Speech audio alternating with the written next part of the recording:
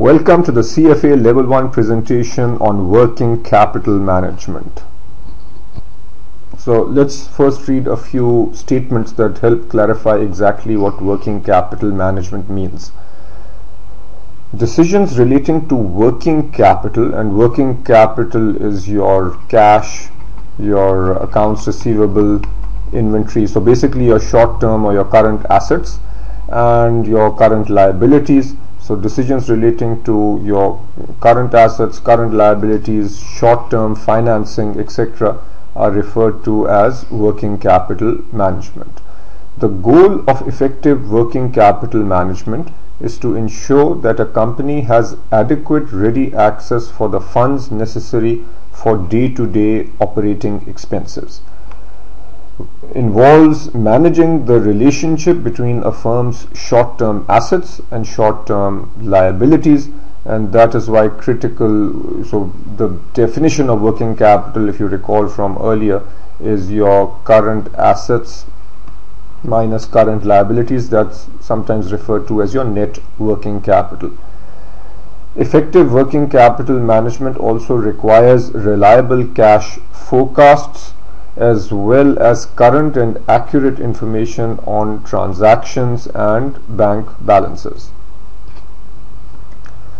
Now this is based on exhibit uh, 1 from the curriculum and this is just illustrating that internal and external factors affect working capital needs.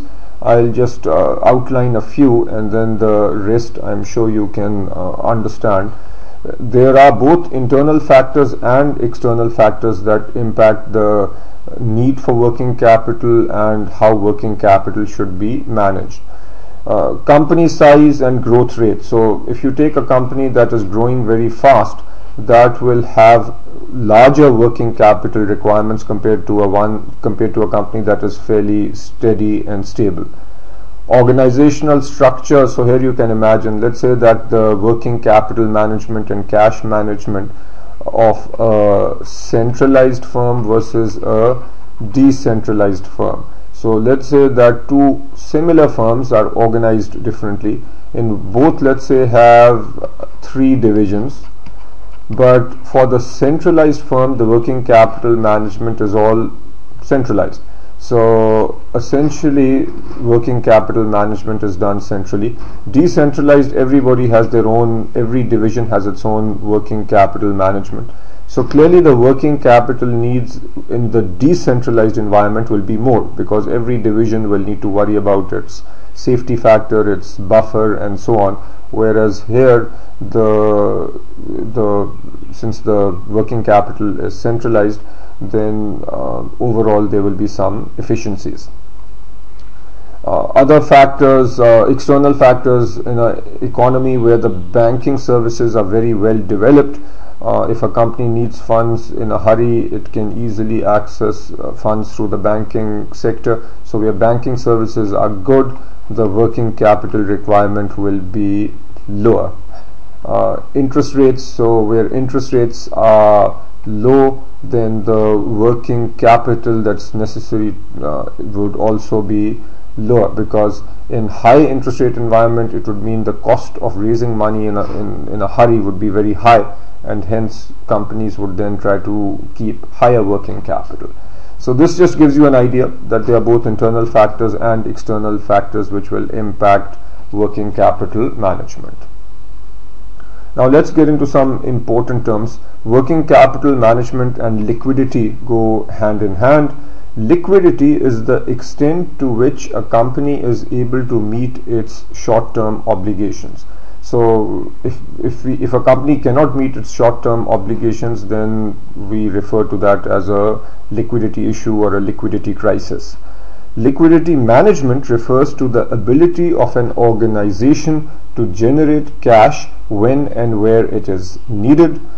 Companies should manage key sources of liquidity efficiently. So, what are key sources of uh, liquidity? The primary sources include your cash balance, your trade credit. So, when you buy from your suppliers, the credit that you get is trade credit and short-term investment portfolio. Any cash that a company has or money that a company has that's not needed for daily uh, transactions uh, should be stored in short-term investment portfolio. So it should still be fairly liquid. More on this later. Secondary sources include negotiating debt contracts. So if a company needs funds and they are not available through primary sources then a company can negotiate a debt contract with a bank or maybe another entity. And another possibility is liquidating assets which generally would not be a good thing. And finally uh, typically a last resort is where a company uh, has to file for bankruptcy protection. But uh, this is not a good situation to be in. You need to understand these terms drags and pulls on liquidity a drag on liquidity is when receipts lag, creating a pressure from decreased available funds. So what this means is if your accounts receivable or your uncollected receivables, if this amount is going up, that means that the cash that you are receiving is lower and lower. And this ties with uh, with uh, what you studied in the reading on cash flow or uh, on the cash flow statement. So if you recall, when accounts receivables goes up, that is a use of cash. So a use of cash can be thought of as a drag on liquidity. Similarly, obsolete inventory, that means your inventory balances are going up. That means you are not selling your inventory, which means that you are not getting your cash or the side impact is that inventory is becoming older and potentially you might not even be able to sell it later. Tight credit means that you are having trouble raising money from the bank or whatever other source you get your money from. So all these are collectively referred to as a drag on liquidity pull on liquidity is when payments are made too quickly. So this is when cash from your company is leaving quicker than it should. Or trade credit availability is limited, requiring companies to spend money before they receive cash from sales. So if your accounts payable is uh, is decreasing too fast, so you're making payments to your suppliers very quickly, if your credit limits are reduced or you have low liquidity positions, then we refer to this as a um, as a pull on liquidity. Very simply put, drag on liquidity means that the money that you are receiving, so if there is a drag means this process slows down, that's a drag and uh, pull on liquidity means that the cash which leaves your company leaves the company too fast. So that's the pull on liquidity. Now, it's important to measure liquidity and understand why liquidity is so critical. Uh, liquidity contributes to a company's credit worthiness. Credit worthiness is the perceived ability of the company or the borrower to pay what is owed on, on the borrowing in a timely manner. So, it allows the company to, so when a company's credit worthiness is good, and the liquidity position is is good then a company can typically obtain funds at a lower cost. In other words one of the factors that a bank will look at when it determines what rate to lend you at is how good your liquidity position is. So if your liquidity position is good you can typically negotiate favorable uh, interest rates. If your liquidity position is bad, then your rates might be too high or banks might refuse to lend money in the first place. Uh, it also allows you to obtain better terms for your trade credit. So suppliers are more willing to work with you and happier to give you trade credit if your liquidity position is good. Generally gives you more flexibility because if you have good liquidity, you can exploit profitable opportunities a company that doesn't have a good liquidity situation can't take advantage of a good opportunity when it comes up or uh, maybe I should say it's much harder for that company to take advantage of uh, profitable opportunities. The less liquid the company, the greater the risk it will suffer financial distress. So essentially financial distress is where a company cannot meet its obligations Liquidity ratios are calculated to measure a company's ability to meet its short-term obligations. So let's now look at several liquidity ratios. And these should be very familiar because uh, we have just completed our topic on financial reporting and analysis. So I won't spend too much time on this. Just very briefly your current ratio is current assets over current liabilities. All else equal a high ratio is good with the quick ratio it's most of your current assets with inventory removed again high ratio is good now something slightly different here relative to FRA. In FRA, ratios like receivable turnover were called activity ratios. In the context of corporate finance, we are calling them liquidity ratios. And the way you can think of this is as follows. Uh, from a corporate finance perspective, if the receivable turnover is high, that means that your cash is coming in fast. So that creates better liquidity. So that's why we sometimes bundle uh, these ratios in uh, bundle them along with liquidity ratios. If you recall number of days of receivables is a measure of how many days on average it takes you to collect receivables and that's simply 365 divided by receivables turnover Similarly, inventory turnover, the higher the inventory turnover, the faster you are selling stuff and the faster you are getting cash. And then these are the formulas for the number of days of inventory which should be very familiar. If not then this is a good review.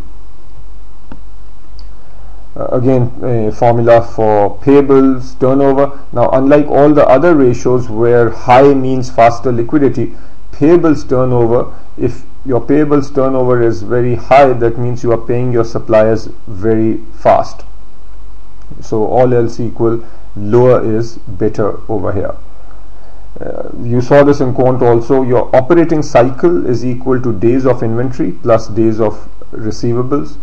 And the average number of days it takes to turn raw materials to cash proceeds. So that's your operating cycle the cash conversion cycle which is also sometimes called the net operating cycle is equal to average days of receivables plus average days of inventory so this is the same as your operating cycle minus the average days of payable. So if you are taking more time to pay your suppliers, that means your since this is a minus sign, that means your cash conversion cycle becomes lower. So essentially, it is the length of time it takes to turn the firm's cash investment. So this you can think of as the cash paid to suppliers, so money out of the company so how long does it take to go from there to uh, cash in the form of collections from the sale of inventory? So cash to cash, cash out to suppliers.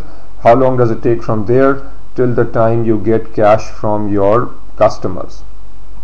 High conversion cycle indicates an excessive amount of capital that is tied up in working capital or we should say excessive amount of money or dollars tied up in working capital which is considered undesirable. So uh, during uh, process improvement exercises at large companies or even small companies uh, one key uh, metric is what is the cash to cash cycle and then companies try to reduce the number of days from cash out to cash in managing the cash position the purpose of managing a firm's daily cash position is to make sure there is sufficient cash in the company. That sufficient cash is sometimes called the target balance.